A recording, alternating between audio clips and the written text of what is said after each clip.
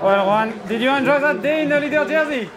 Yeah, it was good. Um, it was uh, quite nice sitting at the front uh, for the first half, and then uh, uh, Michel, he's uh, super strong. He he rode for wow, 120 kilometers or more on the front, and just gave us a free ride as a team. Uh, he was probably a little bit too strong, and we got no help. But yeah, another day in the leaders jersey, and and hopefully again uh, leading into Saturday.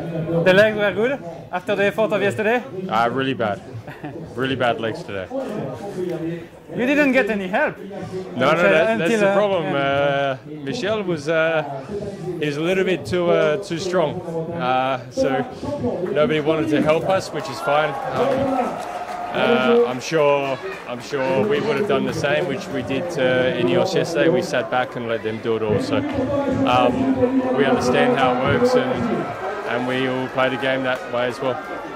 For tomorrow, the plan is the same, controlling the race.